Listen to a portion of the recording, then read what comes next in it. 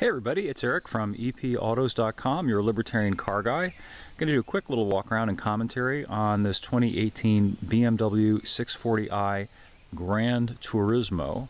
Really, it's a hatchback. Uh, now, we're not supposed to use that word, particularly uh, when we're looking at a higher end car, but basically that's what this is. And as the saying goes, not that there's anything wrong with that. Sedans, uh, as many of you probably already know, are not selling very well. Um, and that includes the perennially best-selling Toyota Camry and Honda Accord, uh, both of which have been recently redesigned and have not been selling uh, as well as they probably ought to be. And um, you probably have also heard uh, that Ford is going to do away with pretty much all of its passenger sedans. And I personally think that has to do with the limited practicality of most sedans. Um, even the larger ones like the Camry uh, only have about a 15 cubic foot trunk. And then if you go look at, say, even a 5 Series or a 7 Series sedan, uh, the trunk space is not that great. Now, look what you get here instead with the Gran Turismo slash hatchback. And by the way, I hate that they, they, they damp these things. Uh, they essentially assume everybody's gimpy, these hatchbacks, and can't just pick it up and open it. Uh, it has to be on a, a, compression loaded rod and then it has to go down on a damping mechanism of some kind when you push an electric button because people are too feeble apparently to open and close a hatchback themselves. Now granted there are people out there who have difficulty with it.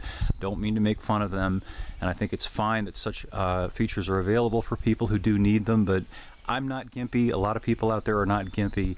I'd much prefer to be able to just throw the thing open and throw it closed instead of having to stand here and wait while it opens oh so slowly, closes oh so slowly.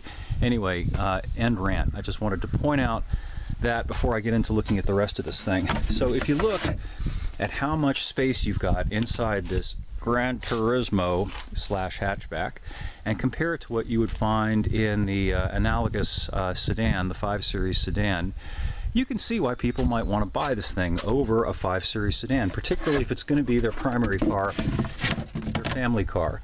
Uh, the 5 Series is a wonderful car, um, but it's kind of tight as far as putting stuff in the trunk goes. You only got so much room. With this hatchback layout, just like any other hatchback, oh, Gran Turismo, you can drop those back seats and you've got this cavernous space that opens up. In fact, it's big enough that even a big geek like me can actually lay down back there with an air mattress and crash out. Uh, so that, that tells you something about the of this car. Now, of course, that too is kind of a dirty word uh, when we're talking about high-end cars like this. And this one that they sent me is loaded up and it stickers for more than $80,000. So that's a lot of money to spend on a hatchback. Oops, can't say that. So that's why uh, they're marketing this thing as a Gran Turismo. It sounds sexier, people feel better about it. Um, it's fundamentally about a marketing angle rather than just being straight up about it and saying, look, this is a more practical way uh, to, uh, to get around. Um, but we don't want to talk about practicality when we're spending lots of money. We want to talk about sexy things and entertaining things. Anyway, I will have more up at epautos.com about this car as well as a number of other things.